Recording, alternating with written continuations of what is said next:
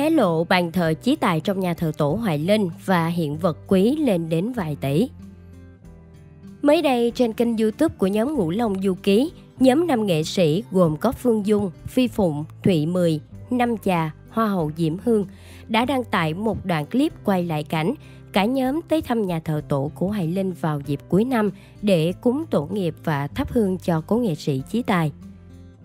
Điểm đặc biệt đầu tiên mà khán giả thấy được là Hoài Linh đã trân trọng dành hẳn một ban thờ riêng trong nhà thờ tổ để tưởng nhớ hương khói cúng bái cho cố nghệ sĩ Chí Tài.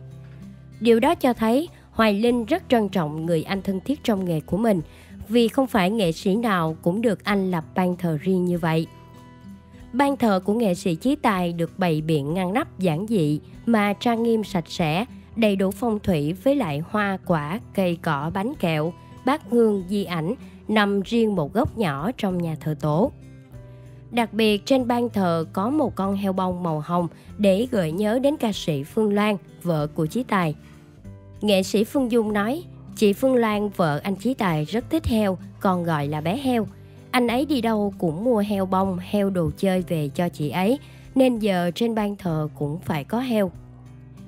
Sau một hồi tham quan, các nghệ sĩ cùng nhau thắp hương rồi kính cẩn đứng trước ban thờ tổ nghệ sĩ Chí Tài khấn. Nghệ sĩ Thụy Mười nói, nhóm ngũ long chúng em tới nhà thờ tổ để thắp cho anh nén nhang, cầu cho anh được siêu thoát về nơi an nghỉ cuối cùng. Ở đối xứng bên cạnh ban thờ của nghệ sĩ Chí Tài là ban thờ của cố nghệ sĩ Kim Ngọc cũng được bày biện rất trang nghiêm, ngăn nắp và sạch sẽ, với đầy đủ di ảnh bát hương, hoa quả cúng.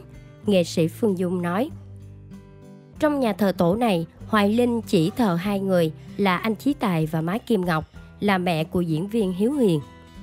Má Kim Ngọc cũng chết vì bị đột quỵ. Tôi nhớ lúc đó má vừa diễn xong, đang ngồi xuống cười nói thì gục xuống luôn, không kịp trăn trối gì hết.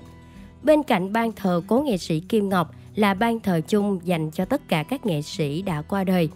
Ban thờ này không có gì ảnh ai, nhưng có một tấm bài vị đặt chính giữa. Ban thờ này được xem là khá linh thiêng, nghệ sĩ nào đến thăm nhà thờ tổ cũng tới khấn. Trước mặt ban thờ là một chiếc kiệu sơn son thép vàng, chuyên dùng để làm lễ rước ở các ngày lễ cúng tổ. Bên cạnh ban thờ nghệ sĩ là nguyên một con sư tử trầm hương đúc nguyên khối, hoa hậu diễm hương trầm trồ.